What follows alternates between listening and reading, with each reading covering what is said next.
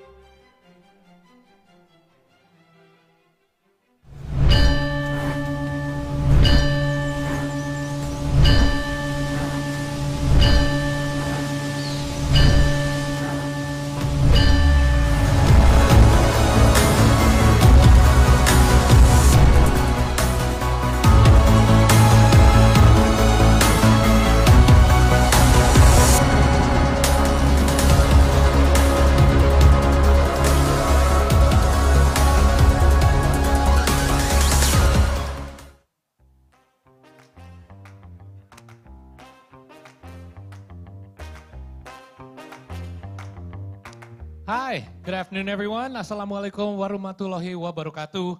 Shalom, Om Swastiastu, Om Budaya, greetings of virtue and peace and virtue to us all. Thank you for joining us today and welcome back to the G20 Digital Innovation Network's Healthcare Pitching Session.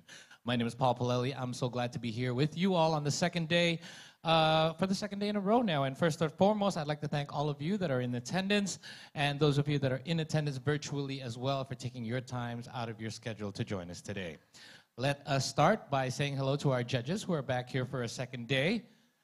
Our first judge is a senior principal at Kearney, who is a career management consultant with 14 plus years of top tier strategy and operational consulting experience across the Middle East, Europe, and Asia. Throughout these years, he has delivered and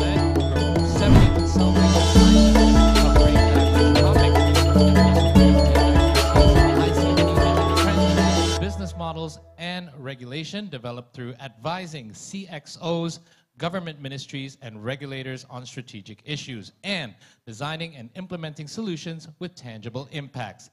He has a strong passion as well for emerging technologies such as 5G, cloud, artificial intelligence, and machines. Please welcome Mr. Rohit Sethi. Welcome back, sir. Thank you, guys. And as well joining us here today is the Technical Officer in Innovation at the World Health Organization. Most recently, she was the head of healthcare transformation at the World Economic Forum. Prior to the forum, she served as Deputy Minister of Health and Chair of the National Health Insurance Fund in Bulgaria. And in that capacity, she was also the chair of the Standing Committee of the Regional Committee of WHO Euro.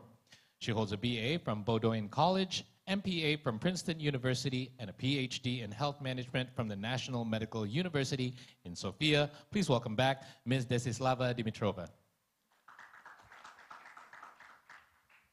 And last but not least, we have our third judge, judge joining us virtually. She's the co-founder and managing partner of Ankur Capital Fund, the early stage fund that invests in transformative technologies for the next billion Indians. They invest in high returns in non-conventional opportunities in these markets and have been pioneers in agri-tech investing in India. The Ankur Capital Fund portfolio covers across ag tech, health tech, ed tech, fintech, and other enabling tech up to $5 million. Please welcome back as well Ms. Rema Subramanian. And we'd like to also welcome all of the government representatives Welcome. For those of you that are just joining, please do take a seat. the founders of the startups that are going to present with us today. Thank you for joining us as well, as well as all the other invitees. Now, before we get started, let me just run through the format again real quick for those of you that uh, have not presented yet. Each startup will have four minutes from the start to the end of their presentation. You will hear a warning bell 10 seconds before the four minutes is up, and then you will hear a double bell at the end of the time limit. Now, uh, following that, the judges will then have a chance to ask questions. It may be one question or more, but you do have three minutes to answer. So if there's only time for one answer and within that three minutes, then we will wrap up at the end of the time limit. However, if there's still more time, then the judges are free to ask more questions at that time. At that point, the judges will then have one minute or up to one minute to score each startup, and all of you in attendance as well will have a chance to uh, contribute and take the opportunity to score while we put up a QR screen like this one up behind me. And today we do have seven startups joining us, two of them virtually, five in person. So let's say hello first to We4 Leadership, who is joining us virtually, Neurobots, UCare AI, AppLife Biotech Corporation, STAM, Untech, and DDM Health. All right, so let's uh, get started without any further ado. We will now join our first startup virtually. We4 Leadership, are you there?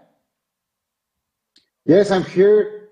How are you? Hi there. How are everyone? Okay, great. So the screen is yours. Go ahead. Good luck. Hi everyone. Enterprises are the first stop to drive a happier and healthier world in adult life, and we are helping them to understand the why, the data, and how, and the benefits. The world is living a happiness crisis in adult life with COVID. Uh, on one side, going to work today means tremendous amounts of stress and loss of work-life balance. On the other hand, companies are looking for the magic solution to enhance people engagement. Let me share with you some data. Let me uh, only 30% of the employees feel progress in their overall well-being. People feel overly stressed even more than 2020 at least one in three people who work in have excessive stress. And about the engagement, only 21% of employees are truly engaged. 14% of job turnover is due to the stress. In America, the cost of healthcare caused by stress is 300 billion a year in health costs, abstinence, and poor performance. Maybe this is the first time in history that companies really want to avoid or solve this issue. I'm faithfully believer that we should change this paradigm and achieve new business culture to change the planet, develop, developing human-centered organizations. So what we are doing to solve this? We develop an assessment based on people analytics and artificial intelligence to identify the most sensitive opportunities to create a happy and productive organizations, integrating the vision of positive psychology and happiness science. The main four areas of focus are organizational well-being, personal happiness, grit and resilience, and high performance team. We have called these positive and human organizations.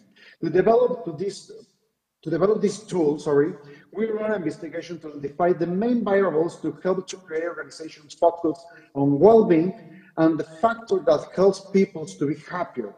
Currently, we already have a formal agreement with two of the most important business chambers in Mexico, and we are already working with the we tend to collect more data and help the people and the culture. And we are working to with most iconic companies in Latam. The existing platforms are focused on the companies and not on the people, and they are expensive to startups that are expanding. Our market begins at the small business. In, in, in, in Latam, this, this business are employed more than 500% of the people in all Latam. We are potentially a billion dollar company with high impact on people.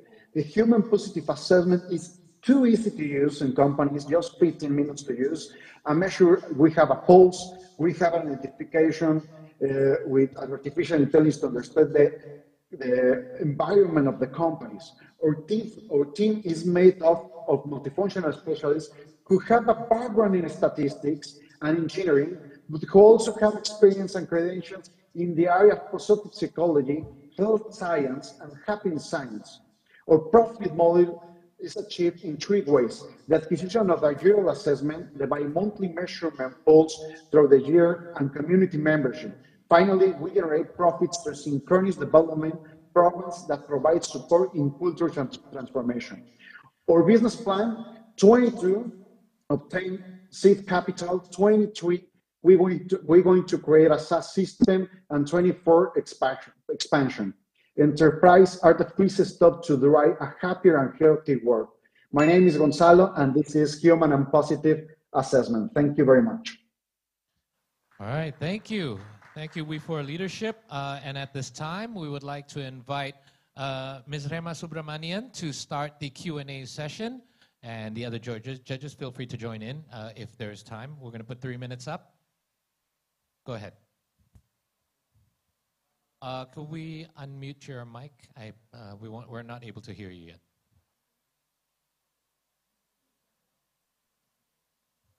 Now? Yes. Thank you. What's your go-to-market strategy? Could you repeat the question, please?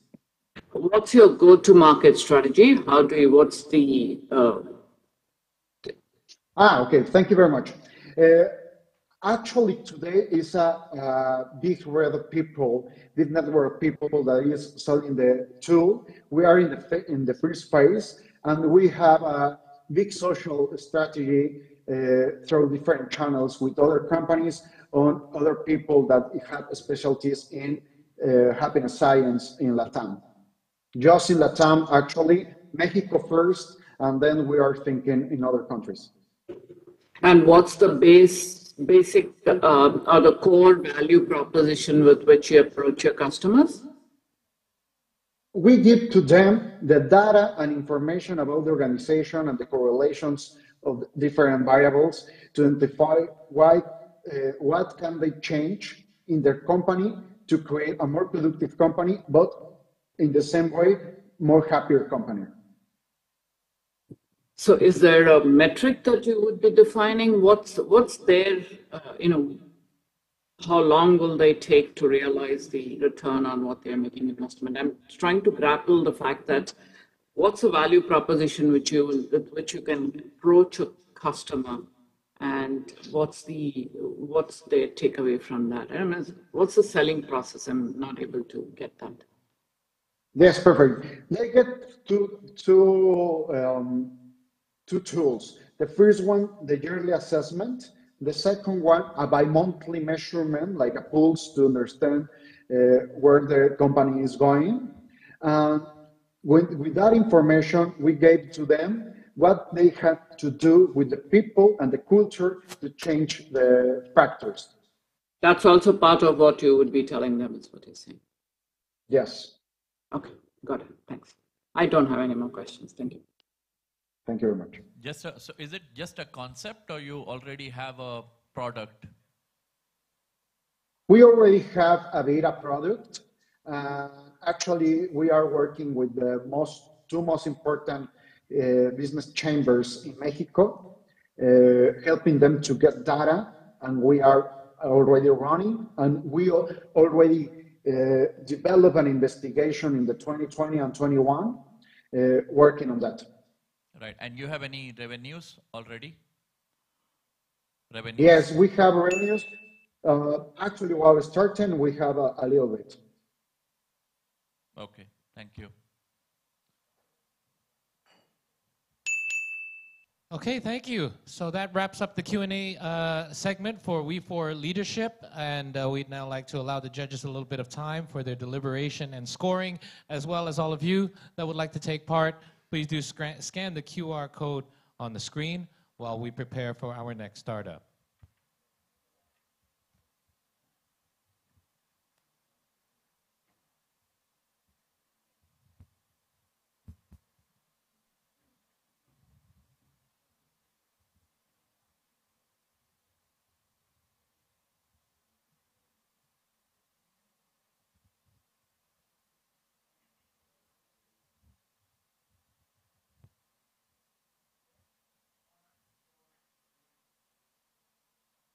Our second startup here on day two is joining us in person, so I'd like to invite Neurobots to come up on the stage.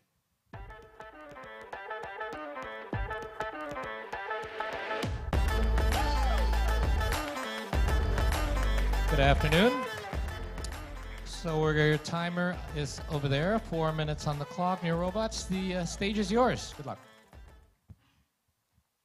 So good morning, I am Julio Dantas and I'm here to present Neurobots, a neuroengineering startup from Brazil that works to set golden standards and become a global reference in neurological rehabilitation. Our first solution is for rehabilitation of stroke patients, disease that affects 16 million people each year around the world and is the biggest cause of motor disability worldwide. To solve this problem, we developed Exobots, a brain-computer interface for neurological rehabilitation. Basically, we have a robotic glove that's controlled by the brain. But how that works? We capture brain signals and we ask for the patient to think in her, his head moving, to imagine his head moving, which is called motor imagery. This imagination brings a brain activation that's captured by our, our sensor, and when we identify this specific brain pattern, the exoskeleton moves the patient's hand. So this way, we are associating again a brain activation with the movement in real time, and this allows us to promote neuroplasticity, ability of the own brain to make new connections and restore those damages. Let me show you some results. In the left side, a patient after two years of stroke, and in the right side, the same patient after two weeks using our therapy. This was a patient of our first clinical trial in 2018, and we had an average recovery of 30% in just 10 sessions of therapy using our, our solution. So we have a business model based in hardware as a service. We have an initial fee of certification of $800 and a, a fee of $10 for each session applied with our solution. Now we are in 107 clinics in Brazil, and we had requests from five different countries, and we achieved the break-even point right now. Uh, our second solution is NeuroDisplay. It's the first neurofeedback solution for companies. Basically, we work inside of companies to reduce anxiety and improve focus using neurofeedback. But how neurofeedback works? Basically, we work with a brain, with a scientific concept called uh, operant conditioning that's giving enforcement for the positive uh, behaviors, in this case, positive brain patterns, and negative feedbacks for the opposite. So using our solution, people can learn how to control, how to improve his mind control. In 2017, we were awarded by Pfizer as best early stage startup in Brazil. In 2019, we were awarded by University of Berkeley in California, finalists of MIT Solve, and we were awarded in Spain by MAPFRE. Uh, this is some of our partners. Hospital Albert Einstein is our main investor and the best hospital in Latin America. And now we are in acceleration process in South Korea in K Grand Challenge startup. Our, we are a 17 people team today with PhDs in physical therapies, artificial intelligence, and biomedical engineering. And when we look for the big future, for the big picture, we have all of these uh, diseases that can be treated using our, our technology, like ADD, AGD. Almost 6% of population has a huge problem. But for us, it's not enough to show, to look for the, only look for the future. We have to find a piece of that future in each corner of the road. So let me show you guys a piece of that future. In the left side, a patient after a car accident she had a spinal cord injury when she was pregnant. So she's childborn, and he was like that. And in the right side, the same patient after the robots treatment, exobots. So this is the kind of future that we are trying to do, and that is why we are changing lives through neuroengineering. Thank you all. We are Neurobots. Thank you, Neurobots. Good stuff. So uh, we'd now like to invite uh, Mr. Sethi to open our Q&A session. Thank you. Right. Do you have any existing revenues and have you done any funding rounds before? Uh, revenues, yes. We are probably going to achieve uh, 600 $600,000 this year in revenues. And the other, the other question was, can you repeat the other the question? funding rounds. Yeah, funding? funding round. We get a, a pre-seed, a pre-seed round. Now we are trying to a seed bridge for next get a Series A. Right. Do you have any patents for your hardware and software? Yes, we applied a patent about our about our exoskeleton, the mechanism of our exoskeleton, and about the software is like secret. Uh, we don't patent it, but we have a, a commercial secret, an industrial secret about the software. So we developed the exoskeleton, the software, and the sensor as well. Right. And who is paying for the product? The medical centers. Nice. We work with uh, rehabilitation centers, so they pay for a certification process when we, we teach how to use the equipment, what the scientific basis behind this technology, and then the patients go for the clinics, does the sessions, and the clinics pays for us $10 for each session applied with our equipment. So that $800 is more than enough to cover all of our initial costs to implant this, this equipment inside of the clinics, and then we receive for the use of our, use of our solution. And will you go for FDA certification or any other scientific uh, certification of the two devices?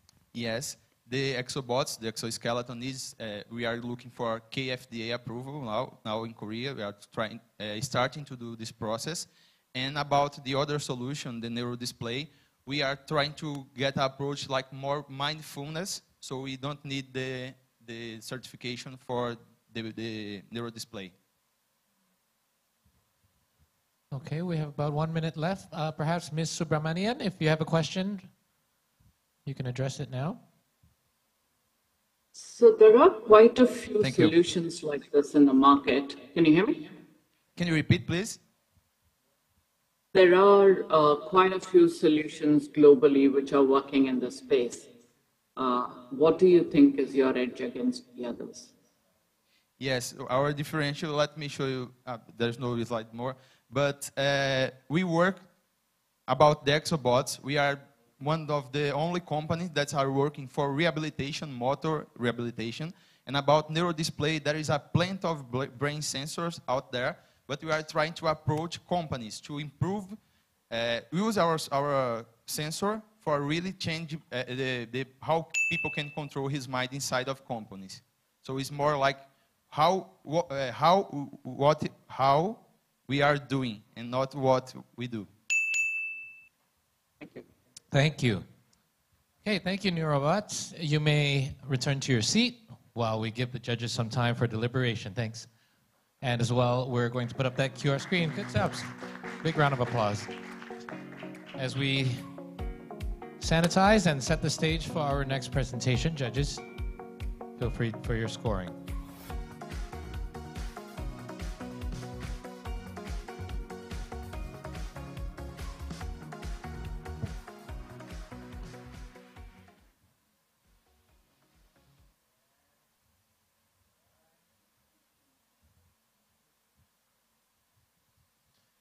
And next up, also here live with us, we have UCare AI. Please come up on the stage.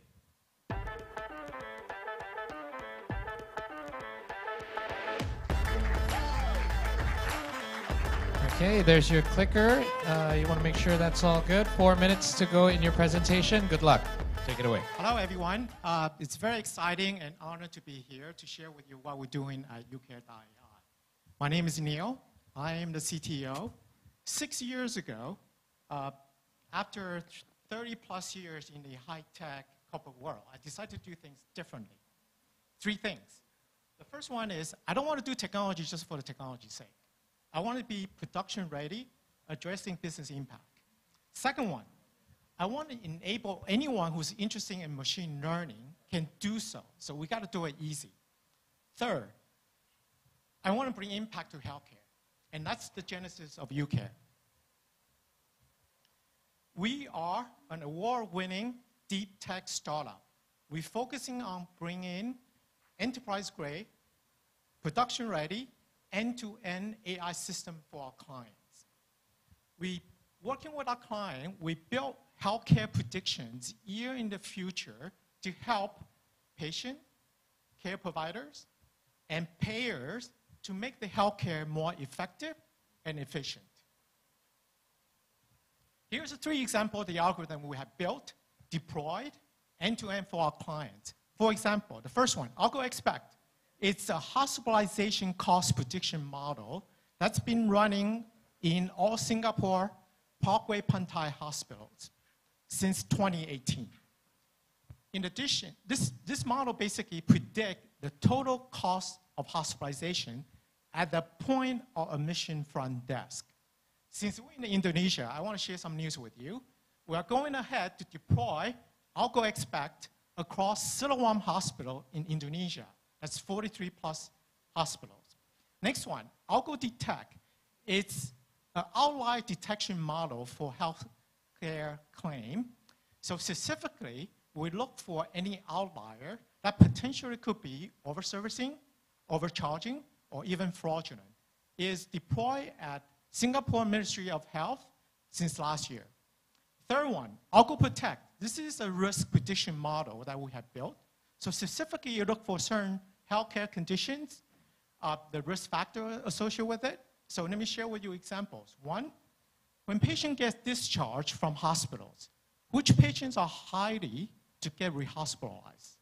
Right? Of course, associated with the cost and, and all that with it. Second one, in the case of COVID, can you predict someone who's most likely to get infected given their social profile and physical interactions? So these are the examples that we have. Uh, we focus on healthcare because Neo want to impact healthcare. It's my commitment. But what we have built is actually applicable across various industries. So as we think about product extension and portfolio, we could easily go deep in the healthcare and insurance, but we also could bring our common technologies across to in other areas as well. So in addition, because of what we have built, we could actually go building more high-performing models, specifically addressing business needs in the healthcare and in the insurance space. But we also could bring in our scalable technology platform, AlgoBox, and bring in the machine learning much faster in the vertical space and allow clients to adopt machine learning faster and more effectively. So architecturally, we are scalable, integrated in real time, and the people we bring on board, I'm a technology guy, MIT computer science, and been working in the industry for a long while. Of course, my founder, she's co-founder, she's an investment professional uh, from VC and uh, private equity before UCare. We believe it. You can finish up. You can wrap up. We believe in human in the loop. So we bring all the experts in to making sure that we deliver the results we're looking for. Uh, we're profitable uh, because we believe how the approach we're doing it so we raised our Series A uh, in 2018 uh, for about 10 million Singapore dollars. Uh, we're profitable as of last year. And moving ahead, we're going to be looking at broadening international footprint given the ease of COVID. And we also want to bring the technology to everyone. Okay, thank you. Thank you. Thank you, Kerry. I, uh, you'll have some time for the Q&A session, which we're going to invite uh, Ms. Dimitrova to uh, open up. We have three minutes. Thank you. Thank you. Uh, thank you for the presentation. Just a bit more about uh, your traction. So, because Singapore is a small, well, what are the other markets in addition to Indonesia? You alluded to it, but if you can speak a bit yeah, more. Yeah, because we are B2C and B2G, right? So the, the people interaction is pretty critical. And given the COVID situation for the last two years was quite challenging. But the fact that we actually have built out our pipeline, that's why we're able to achieve the profitabilities. And let me go back a bit. the slides. Uh, so we are profitable uh, in terms of the revenues and our burn rate is managed and we're very careful in terms of what we do. Uh, what is the competitive landscape for this kind of solutions, especially on the on the leakages? It seems there is quite a bit other yes. solutions. So the, the key differentiator is the end-to-end machine learning model because we got to work with the client in terms of their you know, business systems, the business process, integrate it, and that's where we bring the value very, very quickly. In comparison, we could actually work with a client in three months' time to actually deploy the systems. Versus some other competitions out there, it will take a bit longer. And then on top of that, because we build the machine learning model to be high performing, uh, we actually encourage our competition to do a blind test in terms of what the results of the prediction might be. Mr. Sethi, do you have uh, any questions to add on? Uh, on the B2C model, because I think the logos we see are more organizations, right? B2C, how do you plan to tap into that segment? B2C is much more longer term, and this is where it's coming back to the passion in terms of if you could predict someone's going to buy a certain item on e-commerce, why can't you predict someone's going to get sick, right? And this is the type of technology we're developing and keep pushing ahead. And the monetization model for the B2C, the individual, at this point, it's a bit challenging. That's why we go after the B2B and B2G at this point in time to access the data, really building up our capability, and hopefully one day we could go to B2C. Thank you. Uh, Ms. Subramanian, who is online, do you have any questions to add on to? No, I don't have any questions. Thank you. Thank you. Okay. Thank you, UCare AI. You may return to your seat. Good stuff. And we're going to prepare the stage while we give some time for our judges to deliberate further on, as well as the QR code that you guys can scan as well to take part and use this opportunity to help us with the scoring. This is day two, so this is the final day. We will have the announcement after this session.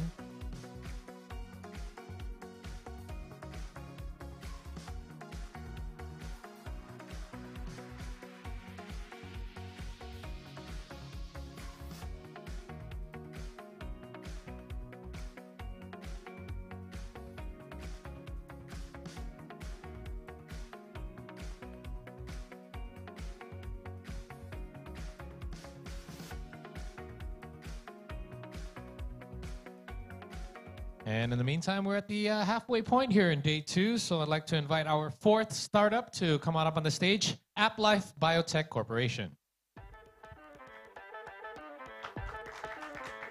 Hi there, good day. Here's your clicker and your mic. You have four minutes up. Your presentation is on the screen. The stage is yours. Good luck. Hello, judges. Hello, audience. My name is Guido Rosenblum. I'm the scientific director at AppLife Biotech. I'm really excited to be here today to present you a technology that will be the foundation for the development of a new generation of digital biomedical diagnostic devices. Let me put you a framework where the company is impacted. So in healthcare, um, in healthcare, um, sorry. um, If it's not working, you can just say next. Yeah. We'll click it for you. sorry. Um, yeah, let's do that, please. Um, sorry. Okay, let's go. So in healthcare, better than treating a disease is preventing it. Sorry, is preventing it.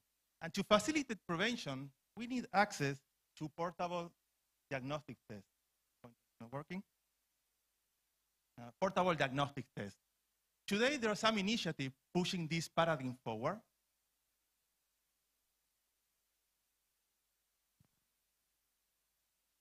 This is embarrassing.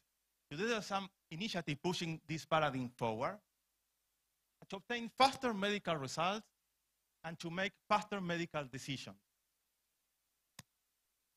Among, among portable diagnostic devices, digital detection is a powerful tool for the future of healthcare.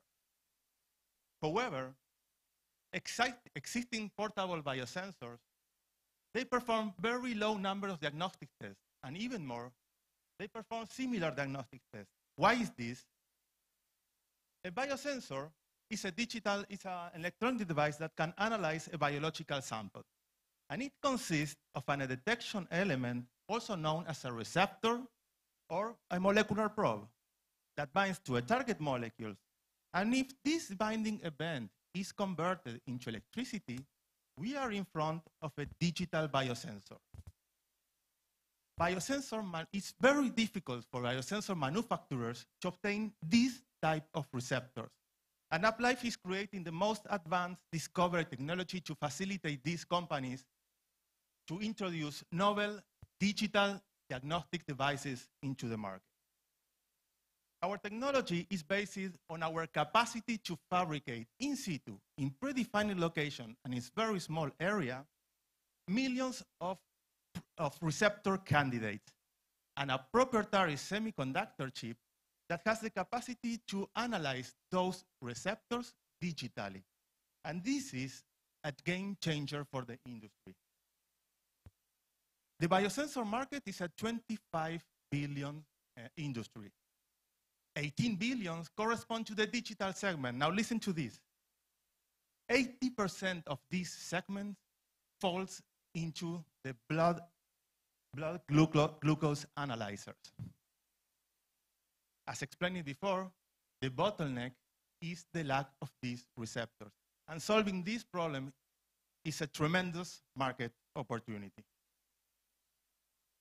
While the pharma sector has very well established uh, technologies for drug discovery to fulfill their pipelines, biosensor manufacturers don't have such technologies.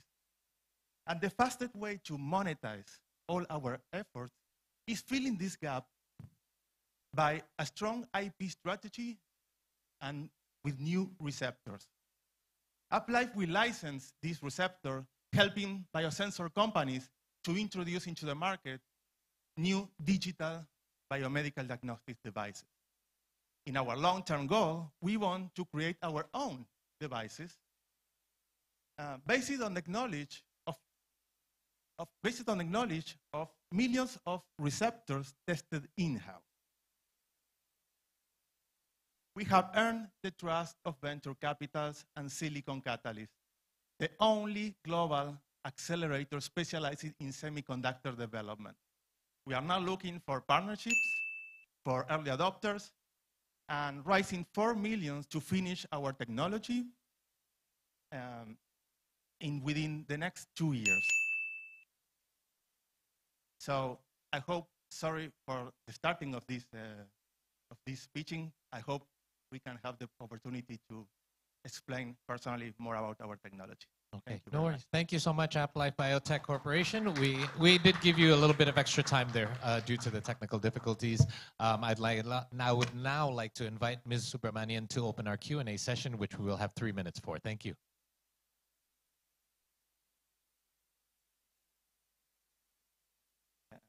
I cannot hear.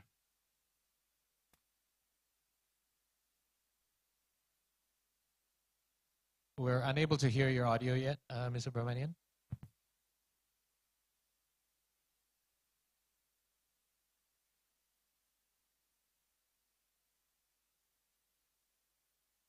Not yet.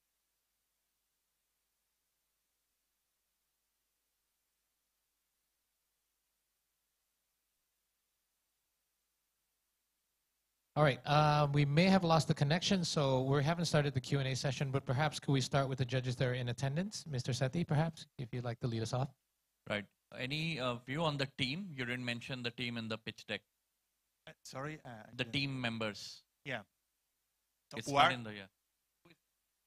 So we have a team of scientific people coming from, this is a multidisciplinary development. This, this is not only coming from biochemistry and chemistry, we have also electronic engineers, electronic engineers specialized in semiconductor technology also. So it's, it's- it's a large team of different fields that are bringing together all this technology. Uh, Right. And any patents you have Yeah. applied? We are actually now in the national phases uh, patenting the core technology, which is the chip itself uh, that has this capacity to analyze uh, digitally molecular interaction. Any revenues so far? Uh, not so far because we are in the middle, we are an early stage company building the technology actually, and we hope to be uh, in a commercial sta- stage within the next two years. Okay, Ms. Dimitrova, perhaps if you have any questions, we still have a couple minutes remaining. Again, about the scientific backing of the technology. Um, any, I mean, I suppose you come later, but what are you doing now for, for it? Uh, sorry? The scientific backing, any approvals, regulatory approvals, The scientific? backing the scientific proof Okay, of the so use of the technology. actually what we are doing here uh, regarding the synthesizing um, is not something that we AppLife invented. It's something that is already invented. The way to synthesize massively this amount of chemistry over a very small area. Uh, our original part is the semiconductor chip that has the capacity to interrogate digitally all these uh, synthesized molecules. And the technical background of this digital analysis is well known in a low scale. So uh, the, the new part of AppLife is the massification of this uh, digital interrogation of molecules. It's very well known how to convert these interactions into electricity. We are doing it massively. Okay, thank you. If there are no remaining questions, thank you. Uh, AppLife Biotech Corporation, you may return to your seat.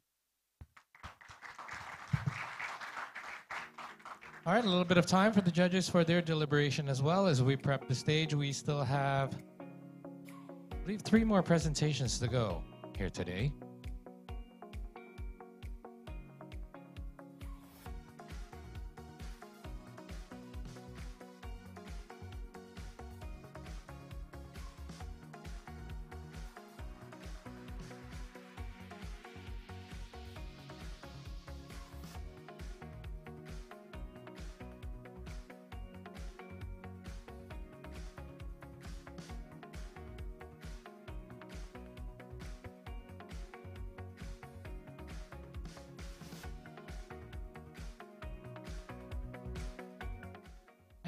Joining us for our fifth startup here on day two, Stam. Come on up on the stage.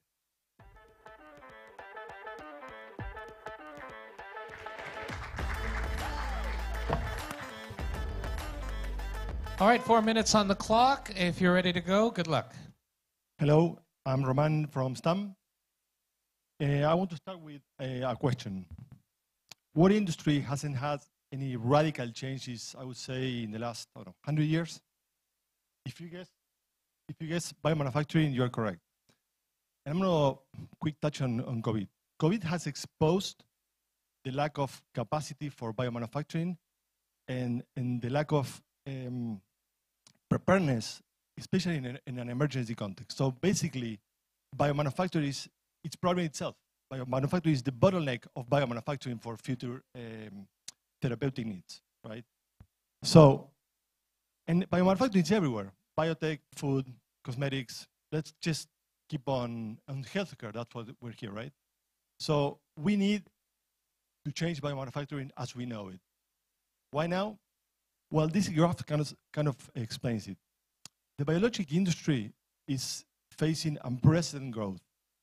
And again, the biomanufacturing, it is the bottleneck for biomanufacturing. So considering the exponential approval that is uh, uh, expected for the next decade from the regulatory agencies, expected to increase a thousand percent.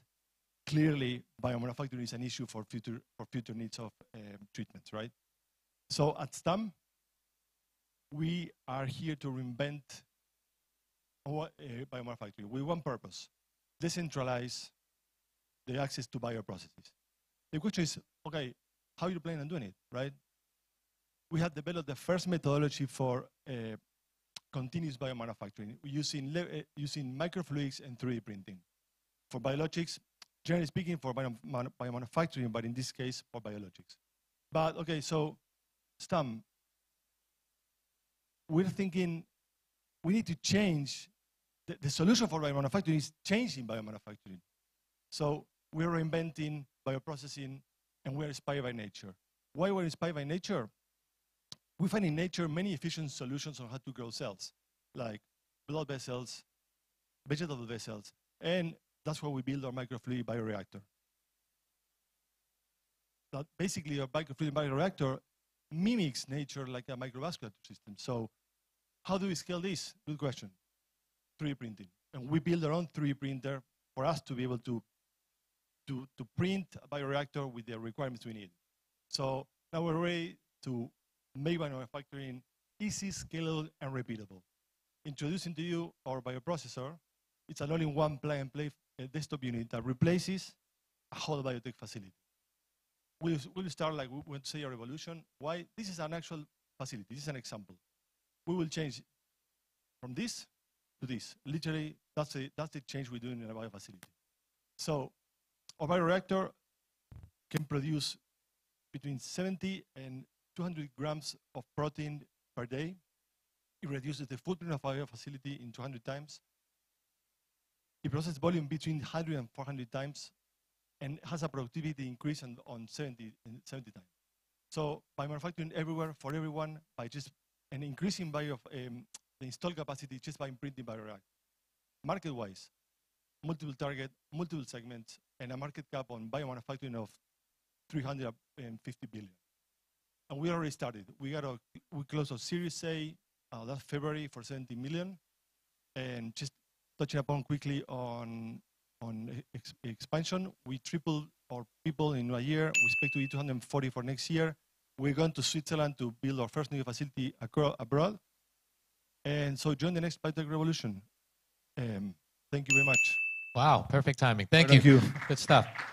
Um, and now we'd like to allow our judges, starting with Mr. Sethi, perhaps, to open our Q&A session. Three minutes on the clock.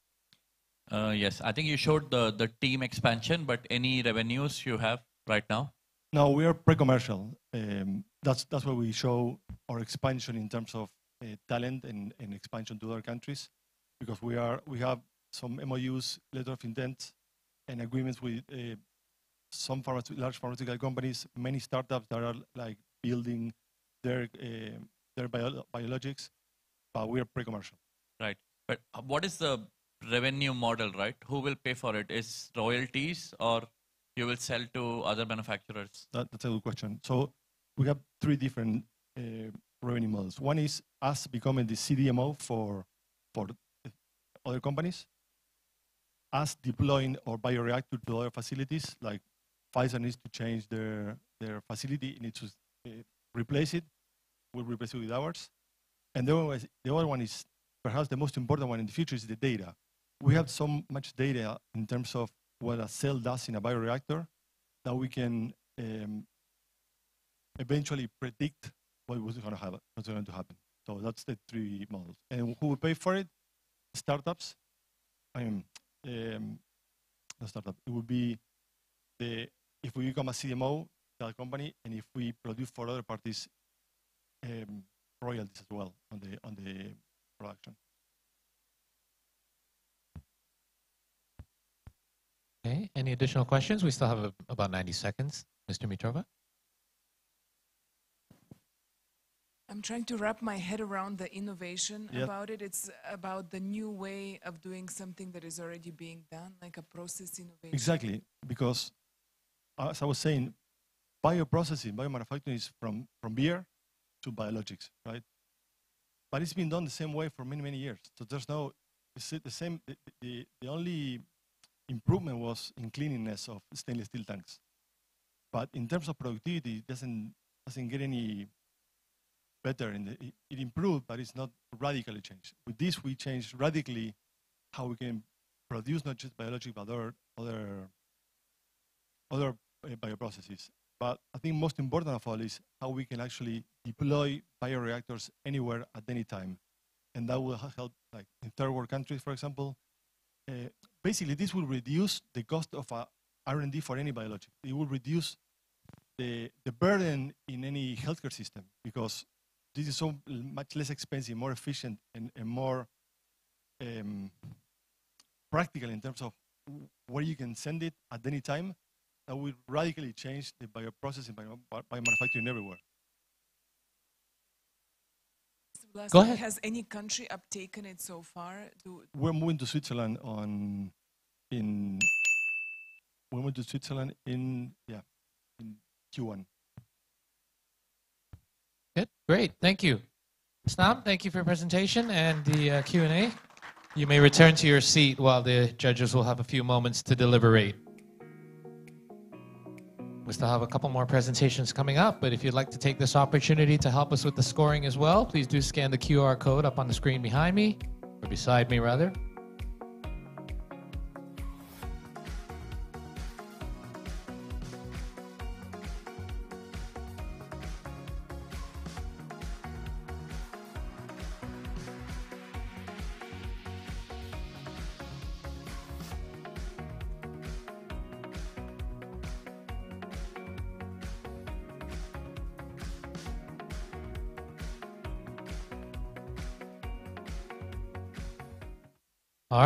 set for our sixth presentation here today. I'd like to invite UNTEC up on the stage.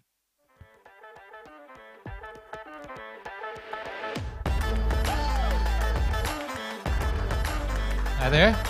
There's your uh, microphone and clicker. We'll put four minutes on the clock. The stage is yours. Good luck. Hello, everyone. Today, I will share with you the solution for a dramatic problem that affects millions of patients around the world. Today, I will present you UNTEC, the cure for chronic wounds. Chronic wounds are not regular injuries, are complex injuries that don't heal and in many cases lead to amputation. These patients have a terrible uh, quality of life. Imagine, for example, living with pain during years. And this problem affects more than 120 million people around the world and generates a market of more than $18 billion per year only in products. This represents a huge opportunity because most of the products in the market are merely palliatives. That is why FDA considers chronic wounds as an unmet medical need. But why uh, these products fail? Because they don't attack all the causes that avoid healing at the same time as Chronic Wounds Association's consensus recommend. And that is exactly what we have developed in UNTEC, an all-in-one solution for a multifactorial problem. Here we can see how uh, the therapeutic effectiveness demonstrated during our clinical proof of concept. UNTEC accelerate the healing process from years to months, drastically reduce the possibility of amputation, and allowing the patient to remain ambulatory. UNTEC is a combination product of five marketed small molecules and one marketed enzyme in the pharmaceutical form of a gel, so we don't expect big uh, regulatory barrier. As we can see in this slide, UNTEC is the only one providing all therapeutic requirements in one product and at the same time. This transforms UNTEC in a unique and the most promising solution for chronic wounds in the world. All these properties were demonstrated during our preclinical studies. Our research was recognized with different international scientific awards and were published in the best journals and books in the file. We co-founded UNTEC together with Dr. Alberto Ramos to combine our experience and knowledge in science and business. Alberto is the main inventor of this technology and has been researching chronic wounds for the past 17 years. My background is mainly in business, and I co-founded other startups in Europe and US. Doctors Chavez and Cerusico did their PhDs and postdoctoral studies researching uh, the pathophysiology of chronic wounds and the action mechanism of our medication. And Marcelo Grava is our expert in intellectual property with hundreds of patents granted. And we count with the support of a great advisory board. In this way, we cover all the fields that this kind of project needs. Now, I would like to share with you the key progress in these two areas. We have a strong patent granted in the USA and filed in 45 more countries, and we have started clinical phase one. Our business model implies uh, out-license after clinical phase two, and we have two letter of intent, and this business plan was validated by organizations of Stanford, uh, MIT, Samsung, or Singularity University, uh, our first invest inventor, investor, sorry. And recently we were selected as one of the top five uh, wound care startup in the world, and we are working, we are the only one working in a medication. Next steps, our Series A to achieve clinical phase two.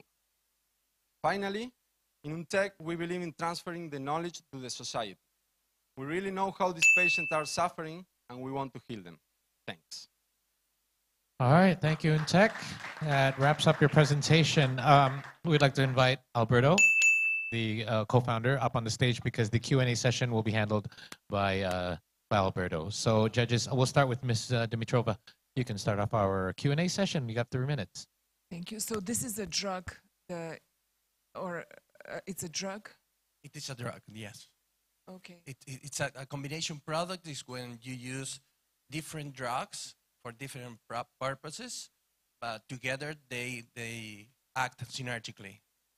It's a combination of existing drugs. Yeah, that's, that's why we do not expect a big regulatory barrier because we already know pharmacokinetics and pharmacodynamics of each one. So the approval that you would seek is the interaction of all of these? Yeah, there is a path in FDA that is called 502B path that's a fast track when you use that this, this kind of products. And what type of wounds? For, Sorry? For which type of conditions are the wounds? From any wound or from what Oh, condition? the, the most common are diabetic foot ulcers, bed sores for people who is prostrated, uh, and vascular ulcers too. Right. Yes. so, uh, so it's a gel, right? Basically. Yes, Uh, it's a okay. gel. So what what's the vision? You said uh, out licensing is the vision, right? Do you imagine being a pharmaceutical manufacturer in the long term? Well, we are in between two worlds because the market belongs to biomedical companies, but we are a drug. So we expect a co-development with pharma, but an out licensing to biomedical companies like 3M or Johnson and Johnson. So uh, that's the, bus- the business model. That's why we, we applied in 45 countries because maybe we can achieve a multi-out licensing model. Okay, and the revenue model would be then royalties, right, from them. That, that's right. In, in our case, um, if, we, if, you, if you out-license after clinical phase two, you diminish the, the risk of the project because we, you already demonstrated the therapeutic effectiveness and, and you can negotiate maybe in between 15 to 25% of, of, of uh, royalties. And how do you currently deploy the testing of it in these 45 countries? In clinics or directly to patients? Or? there is something called uh, regulatory tree.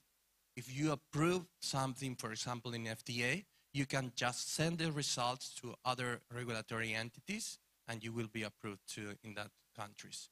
And in the trial phase now that you were showing the results? No, uh, we, we started in Argentina because we want to to have clinical uh, results before opening our Series A. Okay, thank you. UNTEC, thank you. You may return to your seats momentarily. Big round of applause. All right, so we're going to allow the judges again a little bit of time for deliberation and one more final reminder to help us take part in the scoring as well by scanning the QR, uh, QR code on the screen beside me. And just a little announcement as well our seventh startup uh, will not be presenting today, so this will likely be our final presentation for today.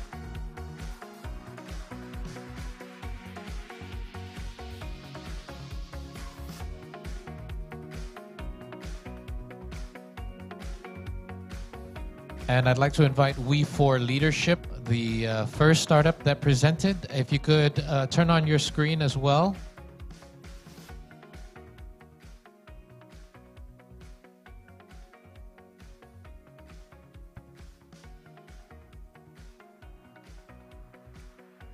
We4 Leadership, if you're there, if you don't mind turning on your screen momentarily. There you go. Hi, welcome back. Okay, uh, the reason I asked you to turn on your camera is uh, we're going to take a group picture before we wrap things up here for now.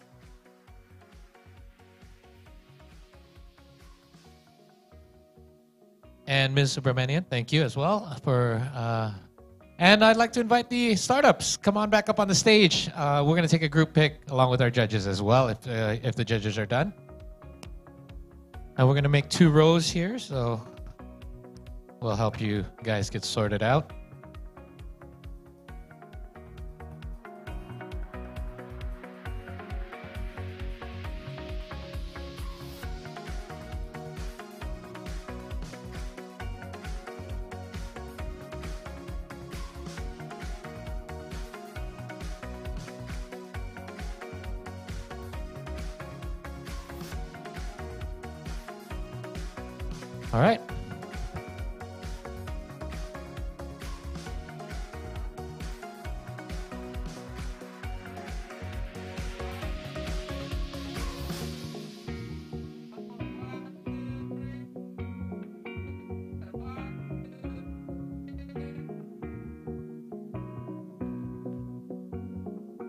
Thank you, everyone. And distinguished guests, ladies and gentlemen, we've finally reached the end of our event here on day two. On behalf of the entire committee, I'd like to thank First of all, all three judges, all of these startup founders joining us here today on day two and day one as well. I see some of you back here, and uh, as well as the guests for attending and participating in our event. For your information, the next item on the, today's agenda, I'm sure you're all eagerly anticipating the awarding session. So that's taking place at the BICC Mangupura Hall. And that just about does it. I will see you guys at the awarding session. I'm Paul Palelli signing off for now and wishing you all the best of luck in your pursuit for innovation. Recover together, recover stronger.